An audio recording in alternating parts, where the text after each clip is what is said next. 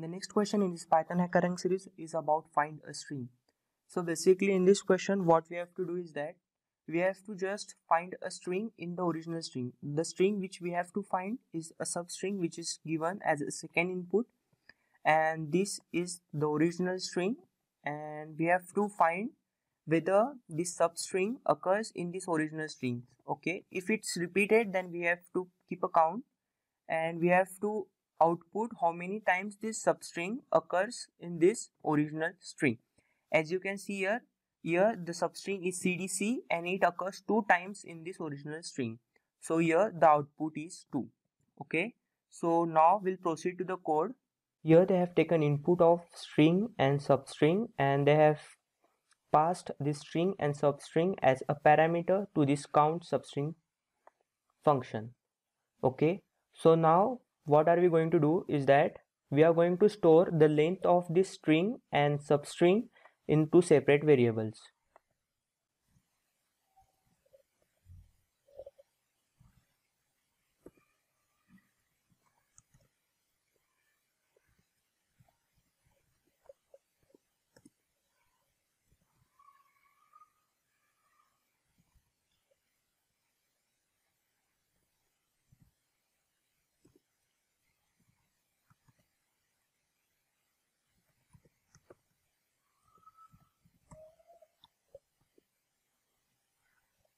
okay.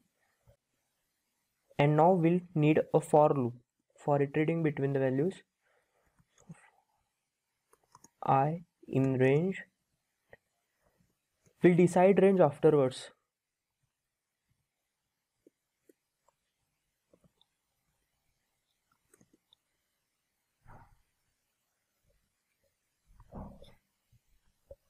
And here we are going to take if condition and in this if condition we are going to check whether this cdc is equal to this abc or this whole string or not. So what we have to do?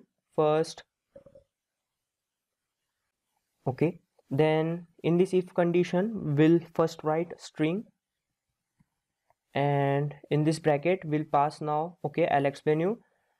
As you can see here the string starts with 0 okay and in first place what are we going to do? We are comparing this cdc with this abc okay? As you can see this a is at zeroth index.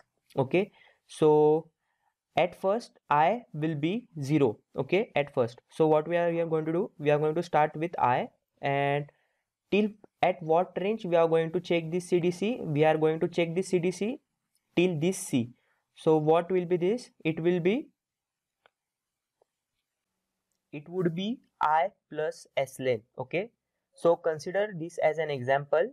It will start from i is equal to 0 to i plus s length. Here s length will be 2 in this case. So 0 plus 2 will be 2 so here starting from 0 1 and 2 okay? So this string will be compared to these three first letters okay so now we'll code further. And we are going to check whether it's equal to substring or not.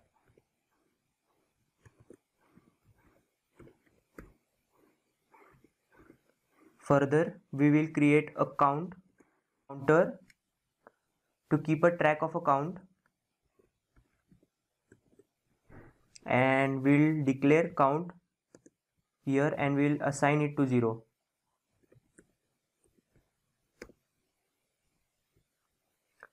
and now we'll return count over here. We have done. And we'll not talk about range okay? So in this case the cdc substring we will compare the cdc substring to this a b c d c. Till c we will we are going to compare it which is at the position fifth okay? Means the length of the string is 5 so the range here should be 5 and here we are going to have done here we have just subtracted s length from m length and we have added 1 to it. So this will give us output as a 5 okay? Now we'll run this code and we'll check it.